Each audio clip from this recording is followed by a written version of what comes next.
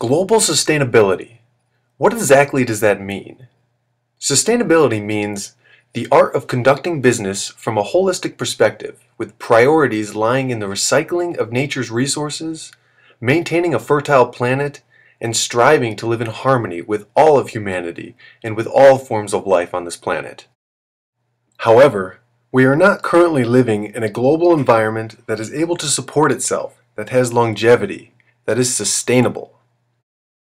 Lester Brown is the president of the Earth Policy Institute in Washington. In his book, Plan B, he spends the first half citing fact after fact about deforestation, soil erosion, population issues like starvation and malnutrition and disease, as well as lack of fresh water, dirty forms of energy like coal and oil, pollution, climate change, and the list goes on.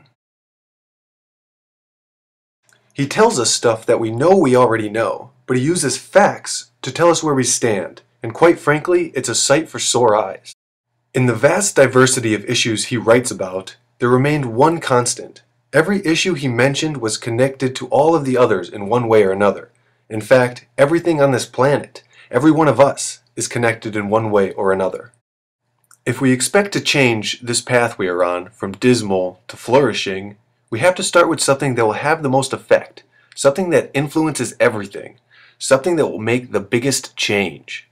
And that is energy. Energy is the single most important issue to be discussed because it has a powerful impact in every other issue we face.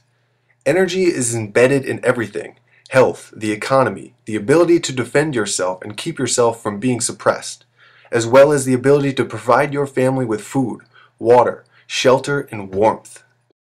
To have a decent standard of life, you require cheap, available energy. However, what is both impressive and alarming is that the planet is currently in an energy crisis. How we get energy today has some serious problems, and it's scary. We fight wars over energy. I know, I was in one. However, in the second half of his book, he writes about how we can liberate ourselves from this energy crisis, and it's beautiful. He advocates free energy systems like wind, solar, hydroelectric, and geothermal, which again is beautiful. But with the rush to electric vehicles and the growing population, they alone are not going to be enough. If we are able to supply even 30% of our energy needs from renewable sources by 2020, that would be a miracle. The good news is, however, I believe in miracles. I believe nothing is impossible. I believe that we can supply 100% of the world's energy needs from free, clean, renewable sources by 2020. So, with such grand optimism, what more can we do?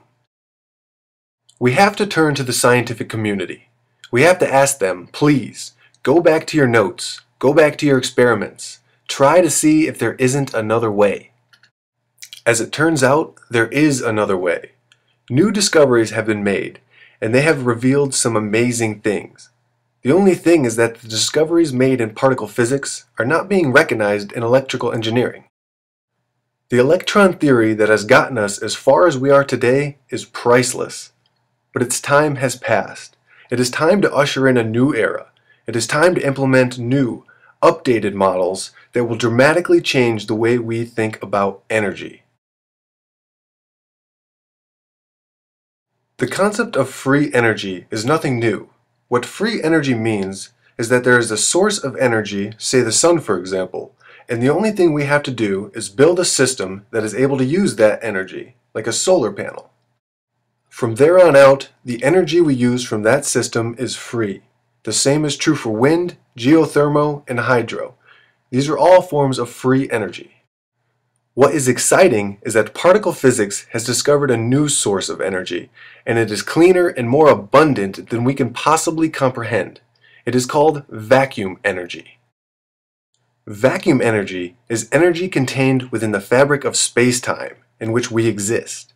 It is the Planck scale, 10 to the minus 33 centimeters, very, very small, and yet it is everywhere, and it is infinite. There is enough energy inside the space of this empty cup to boil all of the oceans in the world. This is a fact well known to the scientific community, and was, for example, a favorite quote of Nobel Prize winning physicist Richard Feynman. The only problem is that electron theory in electrical engineering does not acknowledge that such an energy reservoir even exists. How could this be? Classical electron theory views an atom as though it were a solar system. However, an atom lives in a different realm than a solar system.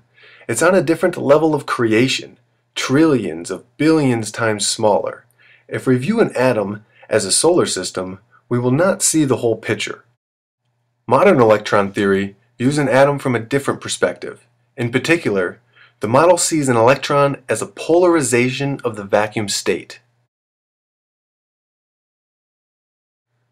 Albert Einstein showed us that E equals mc squared.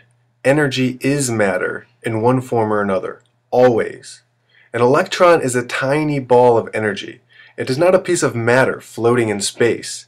An electron is a negatively charged particle that radiates energy, photons, in every direction, never stopping. An electron has both infinite charge and infinite energy, energy that is supplied directly from the vacuum. Virtual particles are tiny forces bubbling in and out of existence at unfathomable rates.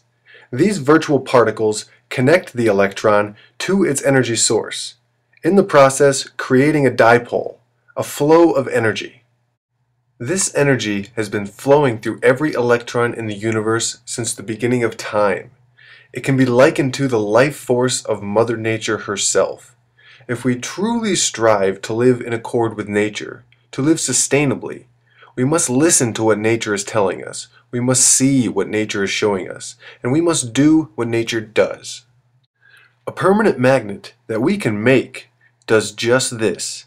A permanent magnet channels real electromagnetic energy straight out of the vacuum perpetually. The problem is, we never figured out how to use this source of free energy. Until now. In March of 2002, a U.S. patent was issued for the Motionless Electromagnetic Generator. The MEG has produced up to 100 times more power than was input by extracting energy from the vacuum. The MEG has been independently constructed and its over unity performance independently replicated by other researchers. Vacuum energy is a real source of energy. It needs not sunlight nor wind. It is present here on Earth, on the Moon, and even in the Andromeda Galaxy, and it will never run out. Well, that then begs the question. If we know about this, then why doesn't everyone know about this? The experimental proof has been around for over 60 years, but yet still, no one is talking about it. Why? It is because free energy means abundance, and a change of this magnitude a worldview change from scarcity to abundance takes time. It takes generations. The good news is, it's our generation now. And we can see that currently the world makes little to no sense, and we're going to fix that. We have no plans on getting stuck in the same business as usual trap that got us into this mess. No more oil, no more coal. Free energy is a real thing. We are at the tipping point of a paradigm shift. Galileo revolutionized our view of the world when he showed us that the earth was not the center of the universe.